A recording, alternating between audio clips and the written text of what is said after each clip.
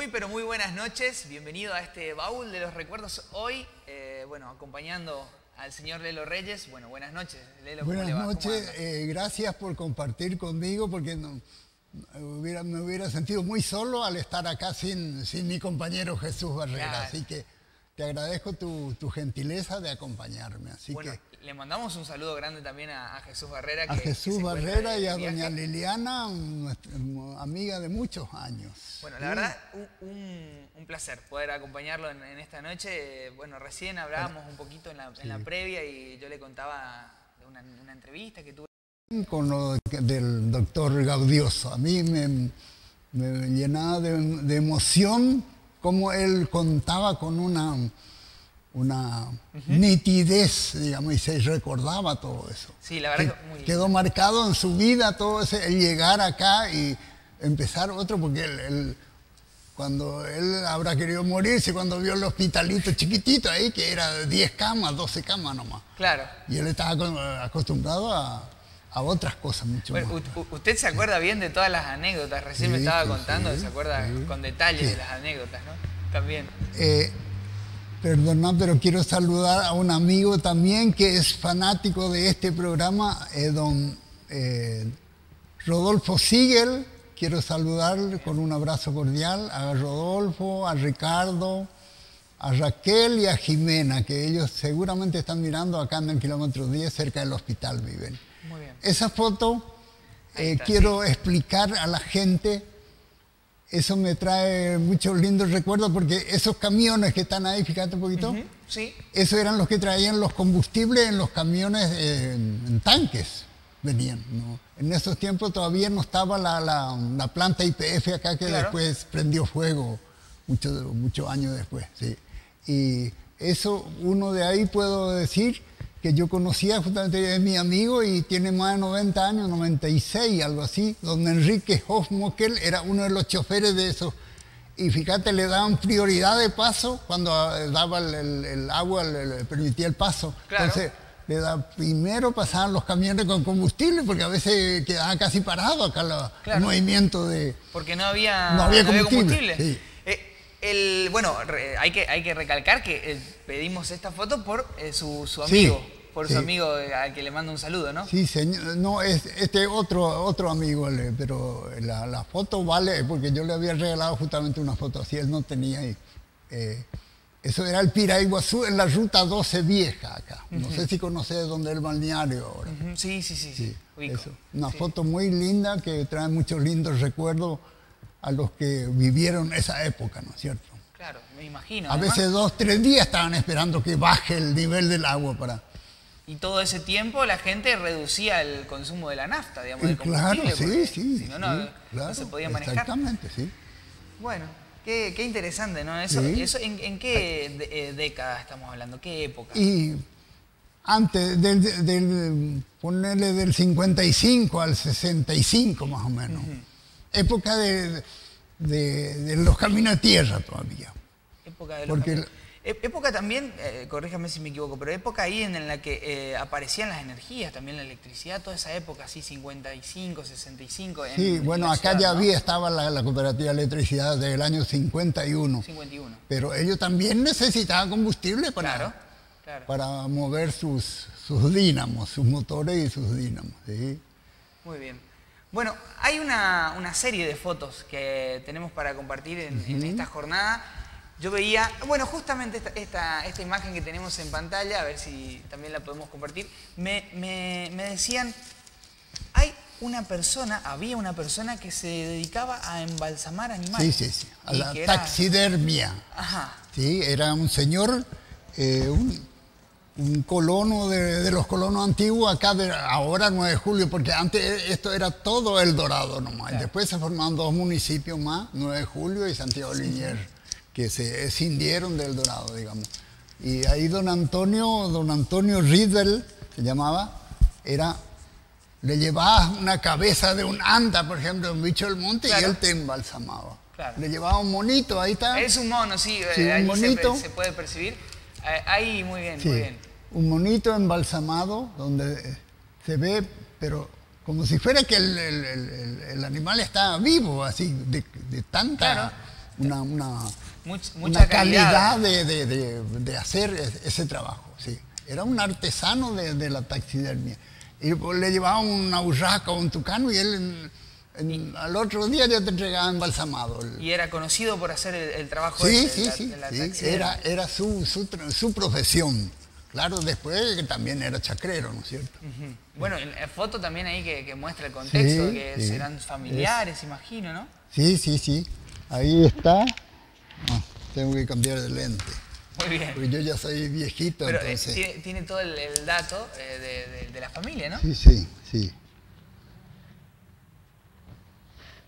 Donde dicen, ah, ese, el, sí. Ahí está eh, Doña Rosa, la señora de don, de don Antonio Riedel, Catalina, una señora, la hija, que vive, es mi vecina, que tiene noventa y pico años. Sí. Mm, sí. Y está también este, eh, Camacho, que era uno de los eh, yernos de, don Antonio Riedel. Y ahí está mostrando el monito embalsamado, ¿no es cierto? Ah, bueno, la verdad que eh, la taxidermia por ahí es algo que ahora no se, no se ve, no se ve tanto. Eh, por, bueno, por los cambios, pero, pero que en su momento eran significativos. De hecho, Se, Acá, por ejemplo, yo conocía gente donde era el camino del Piraimini, donde había balsa nomás todavía. entonces venían también la gente de turismo y se encantaban por un monito que estaba en un bar ahí en un restaurante, pero un monito, esos monitos tití, pero como si fuera que, que está vivo así, que te mostraba una manzanita. Claro, claro, claro. Cosa muy... Ah, Ah, eran, natural, eh, digamos. Y eran, eh, claro, adornos eh, de primer nivel también, sí, sí, sí, claro. Bien, bueno, vamos a... ¿Le parece que seguimos avanzando con más, imágenes? Pasamos, pasamos con la de don Riddle. Riddle. Bueno, ahí tenemos otra imagen. ¿También de la familia Riddle? Sí, esa señora es... ah, esa es la, la hija que se disfrazó en tiempo de carnaval se disfrazó de gitana. ¿De gitana? Sí, rosa era. Ahí está vestida, disfrazada de, gitana, iban a los bailes que se organizaban ahí cerca, nomás donde ellos vivían, donde ahora es el, club trajes típico. Ellos vivían no tan lejos de ahí, entonces eran, eh, se, organizaban los bailes de carnaval y... ¿Cómo era esa, ese momento, esa organización para el baile? ¿Cómo, ¿Cuál era la, frecuencia de los bailes? ¿Había un baile por fin de semana? ¿Cuántas Casi siempre, sí. Pero claro, había siempre esa diferencia entre lo que era el, europeo y el, criollo. Eso se notaba mucho. Acá en El Dorado siempre había al salón vos te iba y si vos no tenías corbata puesta no te dejaban entrar. Y el Salón América entraba cualquiera, como decía vulgarmente, la negrada, ¿no es cierto? Así, esa diferencia siempre hubo. Pero, claro, es este, digamos, el signo de los tiempos también, porque no es por maldad que se hacía, sino la, la, costumbre de cada, de cada raza, ¿no es cierto? De, de los... También, claro más, más, adelantado que nosotros. ¿Qué horario se manejaba en las fiestas? O sea, ¿qué hora empezaban? ¿Hasta qué hora iban? Mm. Es, interesante porque ahora se, eh, está debatiendo el tema fiesta. Antes no amanecían los bailes, hasta las 3, las 4 a más tardar. se respetaba mucho el horario porque yo me acuerdo en el, Salón América, por ejemplo, en época de, carnaval, era toda la semana baile y, festichola, como se decía. Pero claro, tenía que ir, este, cumplir el horario también y a, laburar al día siguiente. Y eso se llenaba porque venían, acá habían, en ese entonces había muy pocas orquestas locales todavía, no estaban pero venían de Posada, Encarnación, del Paraguay también. también a, participar, a, actuar, sí, en los bailes, sí, a amenizar los... Bueno, eh, entonces allí la foto de Rosa cuando se disfrazó de gitana. Exactamente, doña Rosa Riedel. Bueno, vamos a, continuar con la siguiente imagen. Sí. Ahí está también, cuando eran más chicas, tiempo de doña Rosa, Josefa, Josefa era la mamá, Rosa y Catalina eh, mostrando su, plantación. plantación de citrus, sus naranjas, sí. Porque en los primeros tiempos la gente se dedicaba mucho a, diversificar los productos de la chacra. Claro. Eh, primero de todo era el tabaco, después la hierba y después el citrus también. el citrus, porque era una cosa necesaria para la familia también. Entonces, no era que se industrializaba mucho, pero, pero cada, cada, familia, tenía, su, producción propia, sí. Bien, algo de lo que también se está, por ahí se habla de, que, hay que volver a hacer, ¿no? Muchas veces se dice hay que volver a, Lamentablemente ahora con todos esos, esos este, eh, insectos, microbios que hay, yo por ejemplo tengo un terreno bastante grande y tenía de, distintas, eh, eh, digamos, de distintas frutas de, época, pero ahora con, ese asunto de, que viene la, la plaga esa, entonces eh, merma en la producción del. Claro. Porque yo, nosotros no tomamos todos jugos naturales en casa, no tomamos gaseosa. Bien, y de los, dentro de la, de la, gama de citrus, ¿qué era lo que más se, plantaba? ¿Naranjas y qué más? Naranja y este, limón también, pomelo. Había una variedad de naranja que era exclusivo para hacer mermelada. Una naranja más, más grande, más parecida al pomelo, sí, más de más volumen en la fruta y, ellos aprovechaban y se hacían su dulce también. Su dulce, su mermelada. Bien, bueno, mandan un mensaje, don Lelo, le cuento. Hola Lelo, te felicito por el programa. Muy lindo, soy fan. Don Broski Juan. Un abrazo grande a los hermanos Dombrowski, porque son muchos. Y, Juan también, desde antes, cuando estaba en el Canal 9, hace cuatro años o tres años, con Nené Julián, que lamentablemente falleció, él también siempre nos alentaba. Un abrazo grande, hermano Dombrowski.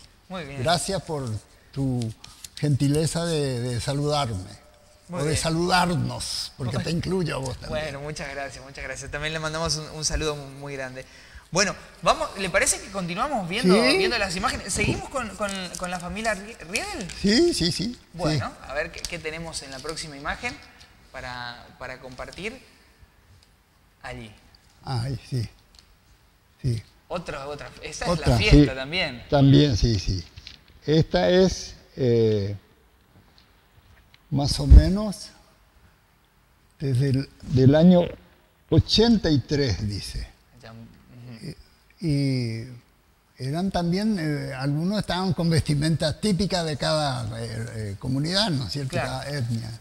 Estaban los, alemanes, los suizos.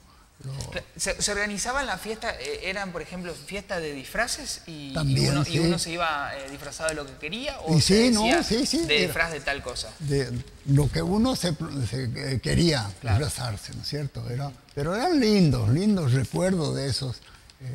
eso ya no, son pocos los que vuelven. Ahora van a volver con el asunto del encuentro del centenario de acá de, El Dorado, ¿no es cierto? Claro, Muy linda foto. Muy bien, vamos a pasar la próxima, la próxima imagen. Ahí está la señora con...